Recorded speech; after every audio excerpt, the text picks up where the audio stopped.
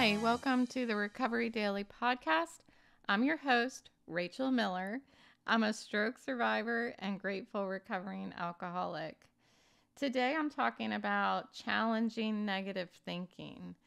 Um, I was thinking very much about my thought process and how much I've changed from when I was drinking and now that I'm sober. And when I was drinking, everything was everyone else's fault.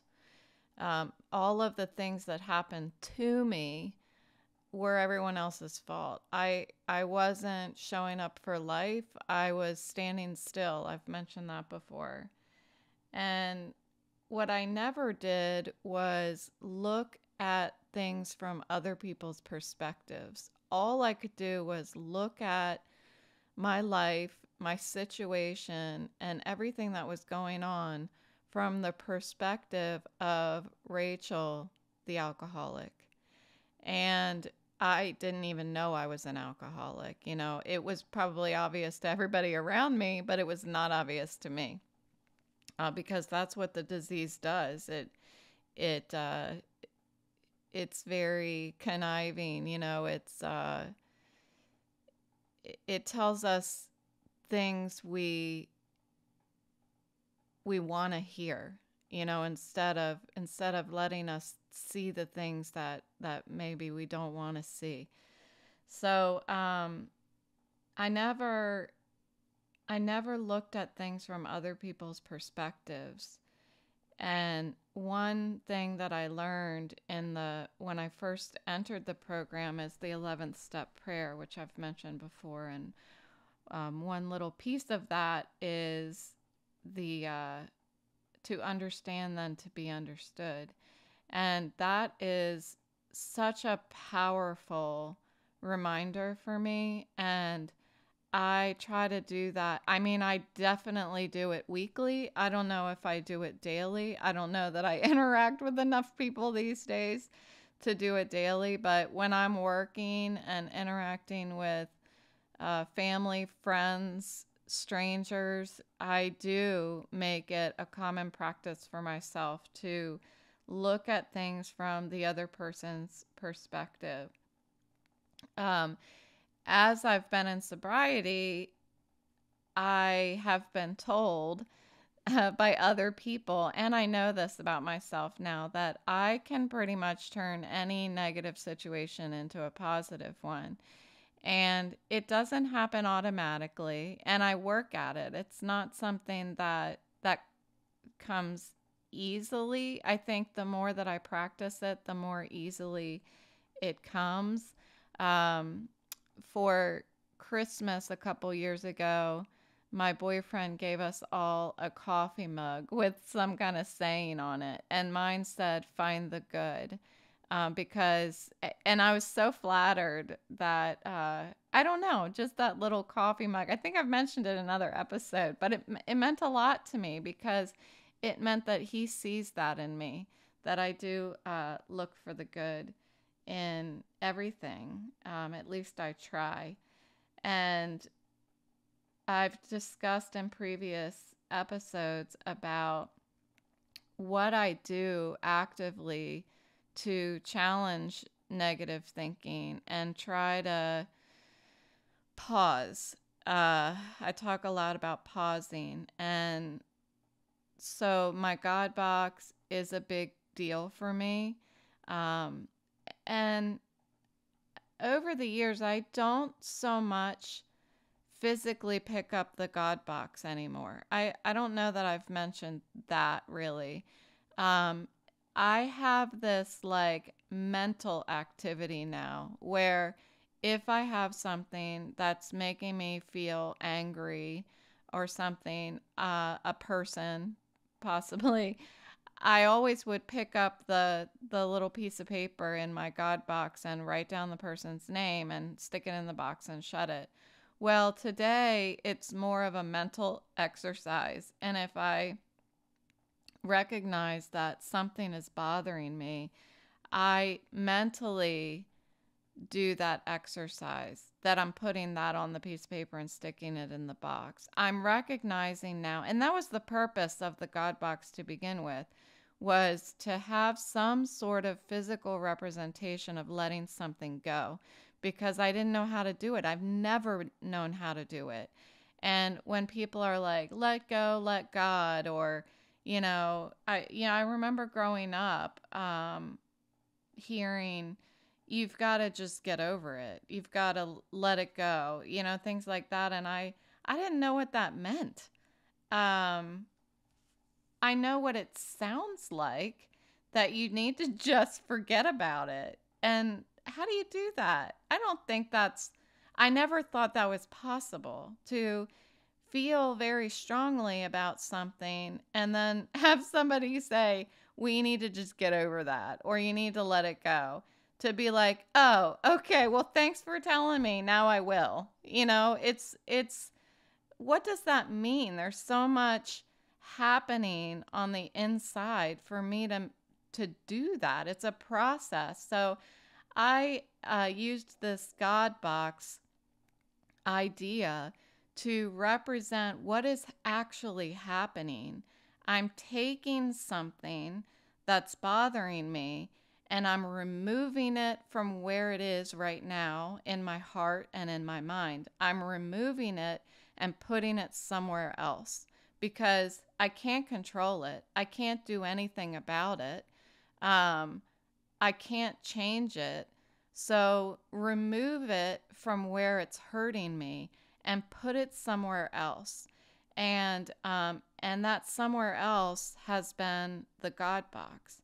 So that's how I have begun to understand what letting something go is. I've also started to incorporate the meditation.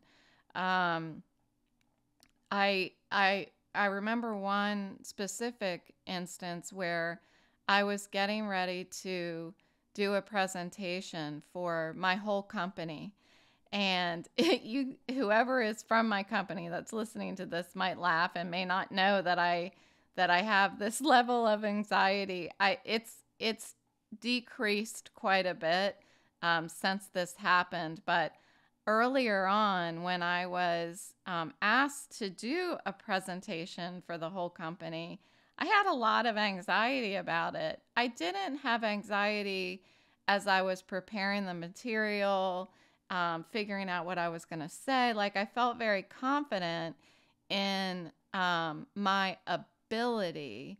I felt very confident that I was um, smart enough to do it, that I was articulate enough to do it. Um, where the anxiety lived was the delivery of it.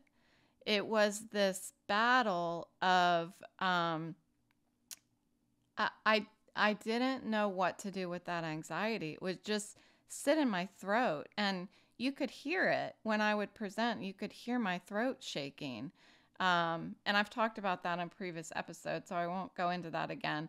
But as I started to realize that this is something I can learn how to do, just like anything else I've learned how to do, um, I can practice and I can really look at where that anxiety is coming from and do something about it. So, one time in particular, I remember, now this was at the beginning of COVID, I think. Uh, I remember about a half an hour before I was getting ready to present, I came into uh, what what at that time was my yoga room, my yoga and meditation room. It's now my office, but um, I came in here and I turned on my salt lamp. I lit a candle, um, shut the shades, and I just sat and did a, a meditation. I didn't listen to a meditation. I just sat in complete silence and just breathed. And I could feel my heart rate going down as I sat there. And when the time came when I had to actually speak, um, I did a great job. I, I think I sounded, I, I didn't, I don't think, I know I sounded confident, less anxious. So that period of meditation really helped me. And I was fortunate that I was working from home so that I could have my, you know, this this place where I feel comfortable in my home to do it. Um, but what's interesting and um, is that later I went into the office and I ran across a couple, a few uh, people in leadership, and one of them said to me, Do you remember what it used to be like when you presented? And I said, Yes, I remember. I mean, I could barely.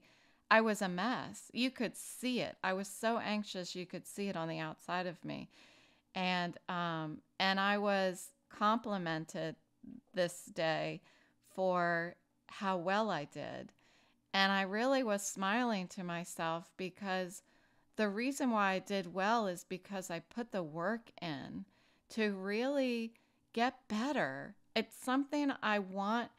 I've always wanted to do. I've always wanted to be able to stand up in front of, you know, uh, 10 people, 100 people, however many, hundreds of people. I've always wanted to be able to do that and just talk comfortably. And, um, and I'm learning that it's a skill that can be learned. It's not something that either you got it or you don't. Um, it's like any any other skill that you learn. You know, throwing a throwing a ball or or playing the piano. All of these things are skills that can be learned. So, um, and then uh, an alternative to challenging my negative thinking is is doing the next right thing. So, this I do on a daily basis, especially the past few days where I'm feeling negative. I'm feeling like Nothing's going to change. What am I doing? What's my purpose in life? How am I going to deal with everything that is on my plate right now? Like as far as my my shift in my career or whatever is ahead of me. How am I going to do it?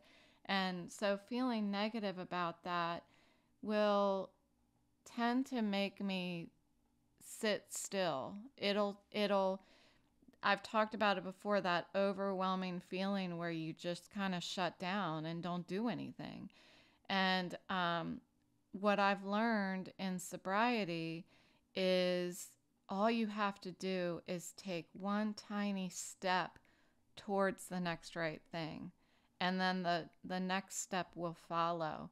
And before you know it, you end up doing the thing that you set out to do. And so this morning I was sitting in bed and I had just finished my sobriety meeting and I was taking down my notes for what I was going to talk about on the podcast today.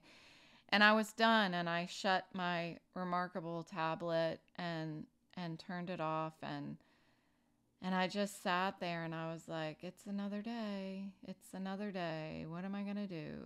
And I immediately forced myself to think, you're going to make bagels today. And I, without even taking another second of spending time in negative thought, I put my feet on the ground and I started walking towards my closet to put on my clothes and I put on my clothes and then I walked towards the bathroom to do my hair. And I was putting my hair back in a ponytail and I was thinking, ugh, maybe I should cut my hair off because my hair is getting really long. And then I was like, why do I have my hair this long? Why did I originally want it this long? Oh, because I like to curl it. So what did I do? I got my curling iron out and started curling my hair. And then I was like, well, I can't just curl my hair and not put on makeup. So I put on makeup. So you see what what started as ugh, it's another day. What am I going to do today? turned into me curling my hair, putting on my makeup, and getting ready for whatever was going to happen today. You know, not letting life happen to me sitting in that bed, but participating in it.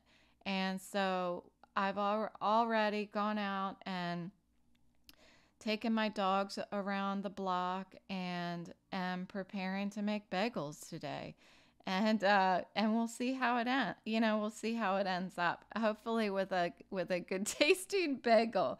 I will report back on the next episode. Uh, so, looking at the causes of my negative thinking, um, I jotted a few notes down about what are some of the primary reasons that I have negative thoughts. And so, this is what I wrote down. Number one, when I don't meet my own expectations, then I'll have negative thoughts. Number two, when someone else does not meet my expectations, then I'll have negative thoughts. Number three, when unexpected things happen to disrupt my plan, and four, when things don't happen on my time. Um, so I feel like those last two are kind of related, but um, this is a, as general as I could think the reasons why I feel like that initiate negative thinking.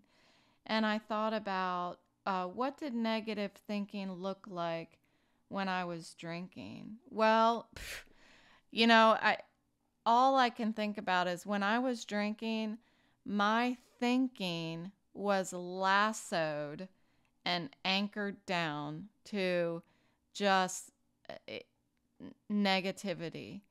And no matter how hard or persistent I was to try to walk in the other direction, it just kept pulling me back, like snapping me right back to that negative negativity anchor.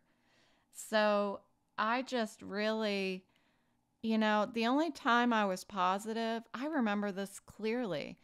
The only time I was positive is when I had at least three drinks in me.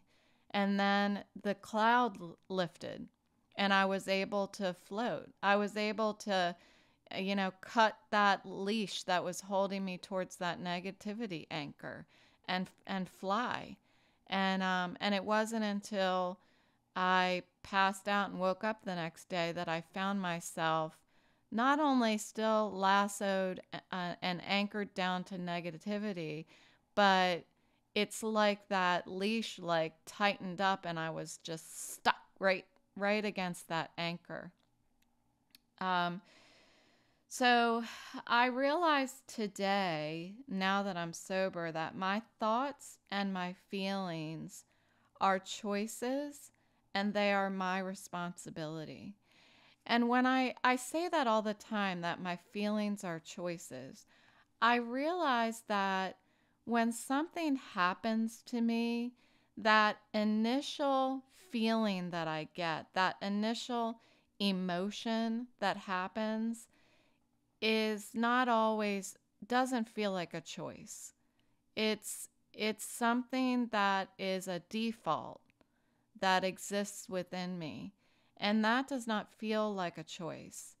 But I strongly believe that that default can change over time, but you have to train yourself to to have a different different default reaction so um, that takes time. But what I have learned is after a few minutes of of feeling that default emotion, after a certain length of time, I can't remember how long it is, like 90 seconds, or I, I can't remember how long it is. But after that initial period of time, then that feeling truly is a choice.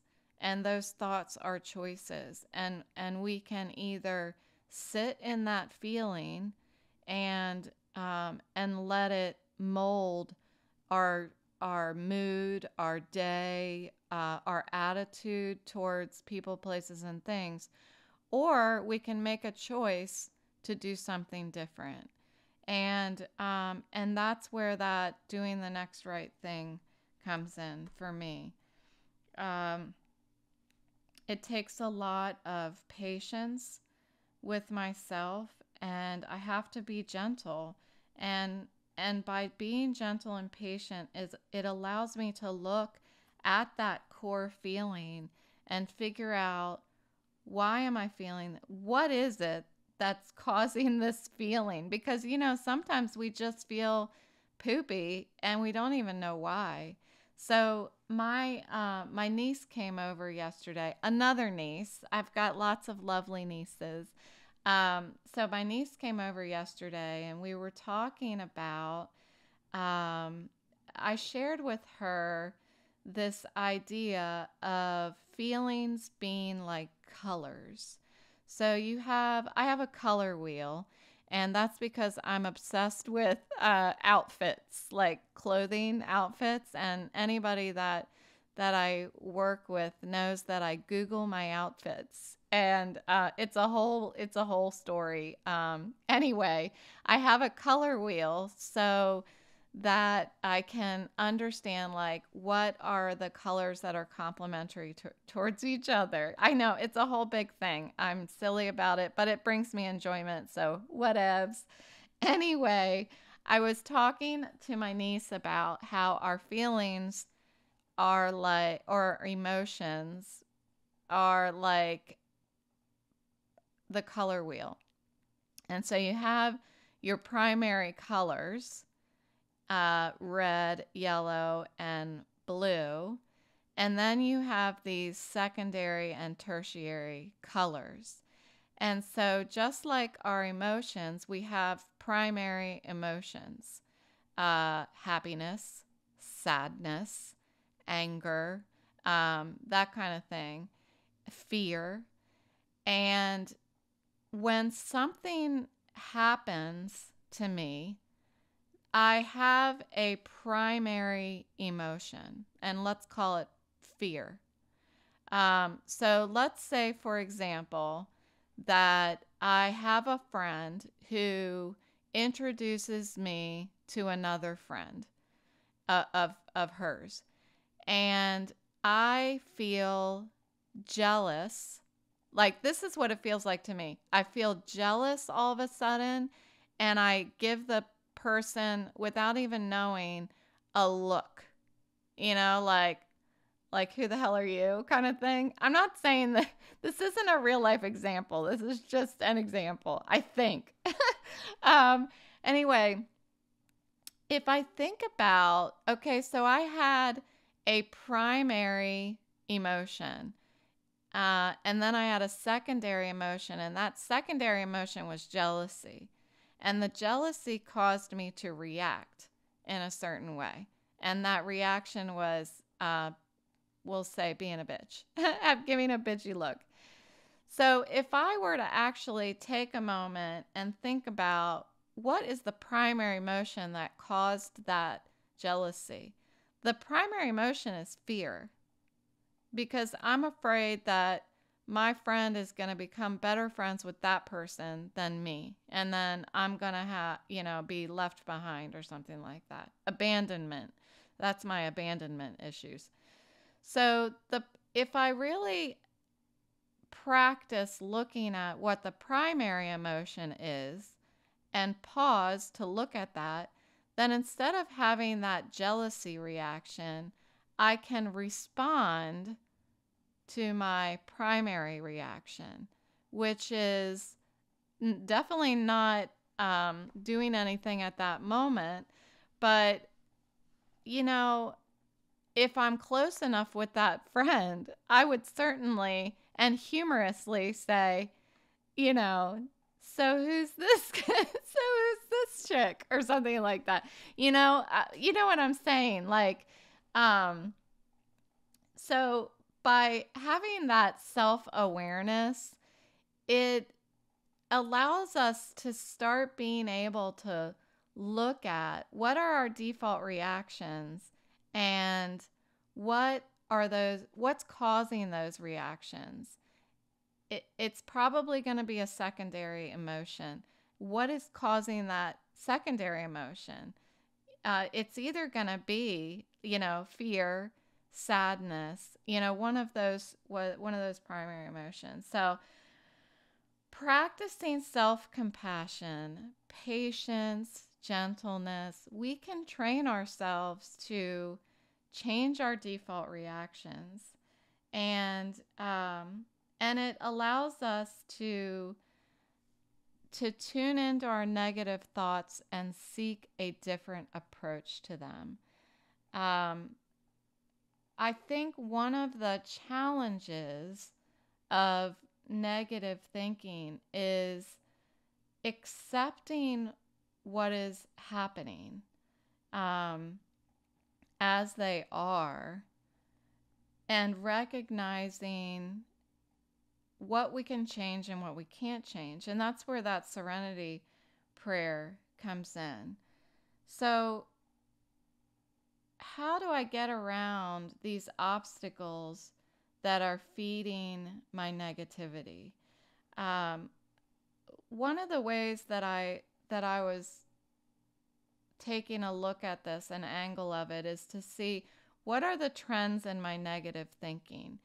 And and if I look at negative thinking as a weakness, what what are what are these obstacles for me? What's feeding it? So I thought about what my negative thinking was when I was drinking and what I'm still think like what negative thinking still exists for me as I am in my stroke recovery. So one of the things that I thought of back when I was drinking was that I didn't did not deserved did not deserve to be happy. Um as much as I don't want to admit it, I feel like there is this underlying fear that um that I'm just not to be happy. I I think that I deserve to be happy, which is different than what I used to feel. Um, that was when I was doing food restrictions because that's I didn't think I deserved to be happy. So the way that I controlled that is through restricting food from myself. Um, I think that that has changed a little bit over time. I think I do deserve to be happy. And I and I think that's where all this fighting for myself is coming from. Uh, when I was drinking, I thought I'm not like other people. I thought I was unique. And I don't think that I'm unique anymore, but I do, again, have that underlying feeling that I'm not gonna be happy like other people. You know, I I wanted to go as far as I could in my career and make as much money as I could and be as successful as possible. I talked about earlier in this episode about I want to stand in front of a room of thousands of people and be able to talk. I want to be able to be a, a leader. You know, I want the all of the stuff that I want. Um I still want that. And and I have this feeling sometimes that I'm not going to have it. And it's it's I think a feeling of retreat, you know, a feeling of uh, just resigning myself to uh, what what is happening to me. Um, and then uh, some of my other negative thoughts when I was drinking, I'm not going to be able to do it and things are not going to work out for me. So these are the kinds of negative thinking that I thought back then. And if I was still drinking, I would absolutely be thinking that right now with my stroke recovery. First of all, if I was drinking, I don't know that I would be here to um, to be fighting for myself in this stroke recovery. But um, I I can feel those same negative feelings exist like deep within me, and so if I'm looking at these negative thoughts as weaknesses, then that the obvious uh, answer to doing the opposite is to look at what my strengths are. And if I look at my strengths, I can challenge those negative thoughts. So I took some time to write down what my strengths are. These are not only my strengths, but they are also my aspirations, what uh, what I want to be, and what I know I can be. And just the simple exercise, it, it's fascinating. From writing down what were my negative thoughts when I was drinking and what are my negative thoughts now that are that seem to parallel what those negative thoughts were uh, from shifting my my exercise that I was doing over to what are my strengths and what do I want to be, completely shifted my mindset. Just that simple, excuse me, that simple exercise. Drank some coffee, so um, that simple exercise of shifting my mindset over to thinking about what my strengths are, like completely turned my attitude around it's even talking about it, like talking about the negative thinking and talking about my strengths.